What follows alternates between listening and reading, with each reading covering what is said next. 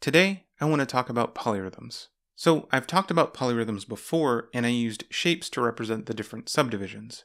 A triangle for three subdivisions, a square for four subdivisions, and so on. The problem I ran into was that at a certain point, the shapes start looking more and more like circles. It gets harder and harder to see the smaller and smaller sides of the polygons. And then this amazing human commented, Why not turn the polygons into stars?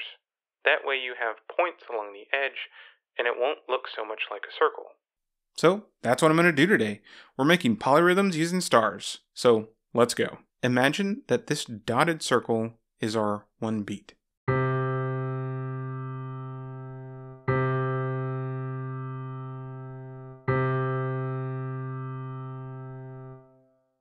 And we can subdivide it into as many smaller equal pieces as we want.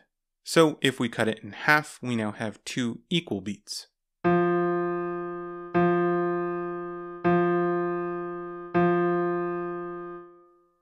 Now we have a 1 against 2 pattern.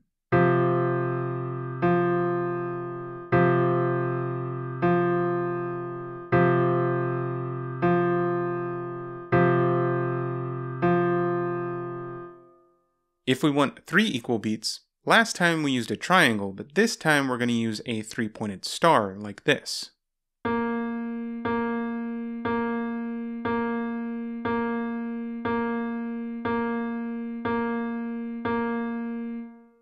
So now we have a 2 against 3 pattern.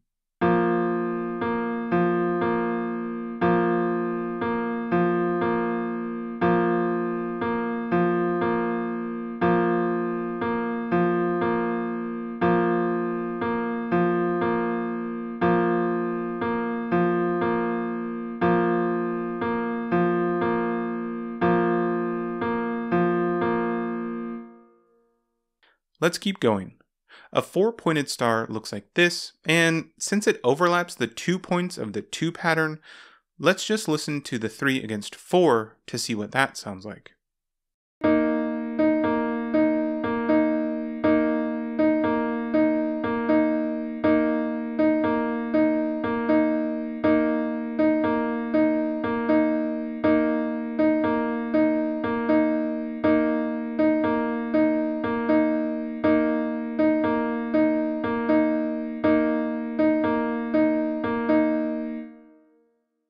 Let's subdivide again using a 5-pointed star like this, and let's listen to what a 4 against 5 pattern sounds like.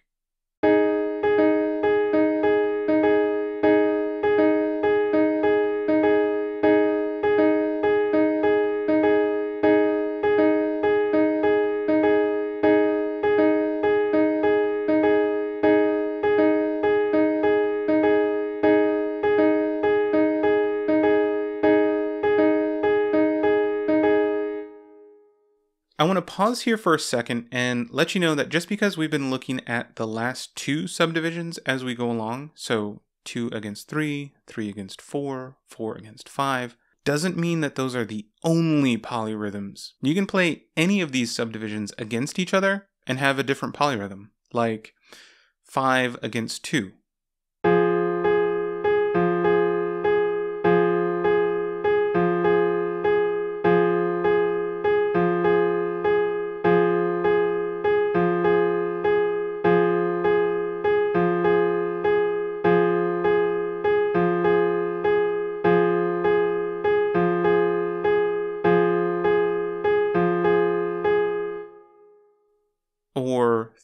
3 against 5.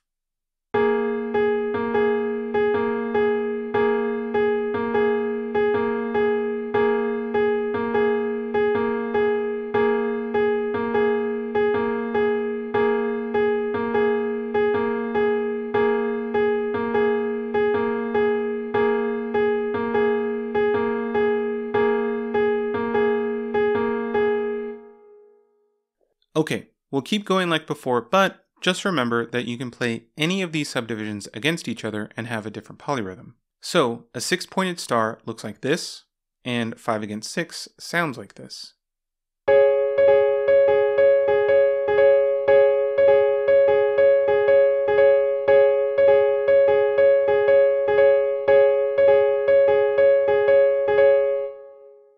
A seven pointed star looks like this, and six against seven sounds like this.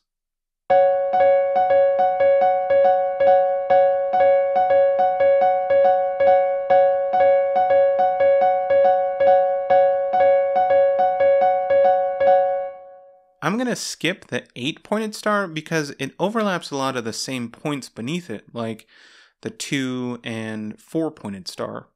So it doesn't add a whole lot of new rhythm to the polyrhythm, so we'll go to the 9 pointed star instead. And 7 against 9 sounds like this.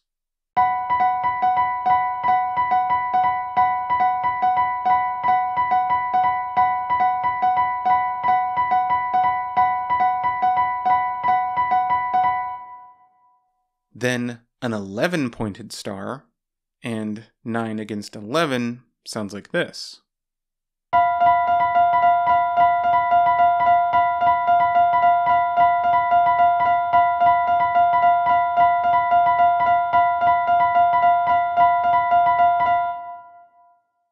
Then a 13 pointed star, and 11 against 13 sounds like this.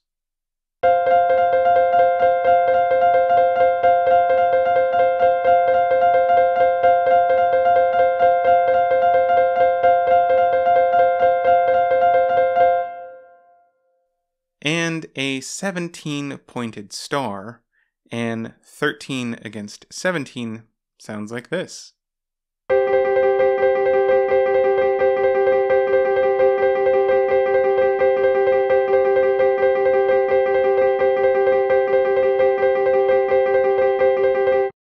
And this is as far as I got in the animation with the time that I had to make this video, but I do think that using stars instead of straight edged polygons does have its merits. It's definitely easier to read as you increase the number of subdivisions, and it seems to add more information in between the beats because you see the dot move along that curved edge. It's definitely more interesting visually, but I think I would still use the straight edged polygons for a beginner and only moved to the star shapes after they understood the simpler shapes. But this was a really fun exercise. And I couldn't leave you without playing all of the different polyrhythms together. So here is a 1 against 2 against 3 against 4 against 5 against 6 against 7 against 9 against 11 against 13 against 17 polyrhythm.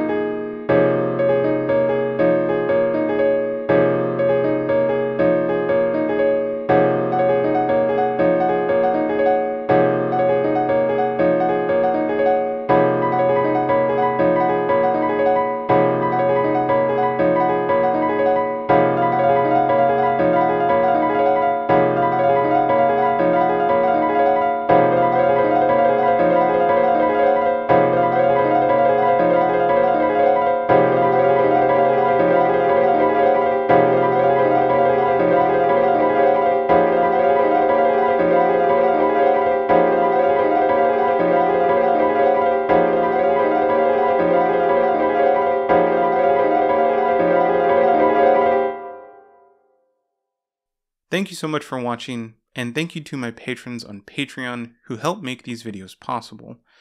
If you would like to support the channel or learn more about becoming a patron, check out our Patreon link below.